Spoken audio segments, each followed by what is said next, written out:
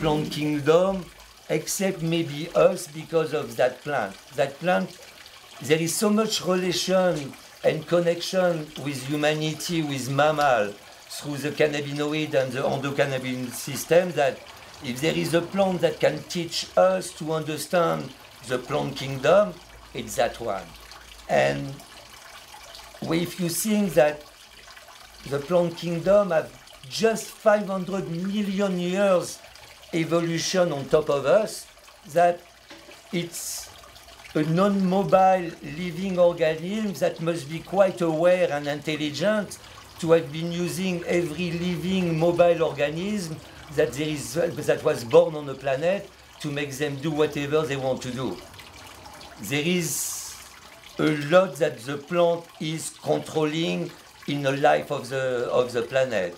And if we have so much attraction for that plant, if like even when you don't know cannabis, to be next to a cannabis plant, it's an experience even if you don't know what it is.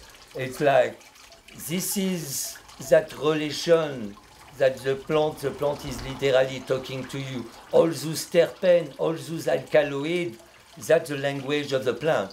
That's what the plant used to make stuff happen. And to have a plant that produces that very alkaloid, that very compound that works only on that very specific. Endocannabinoid system that was made billion of years before the evolution of mammal and 500 million years before the evolution of the plant kingdom, like there is something really, really deep there, and us beyond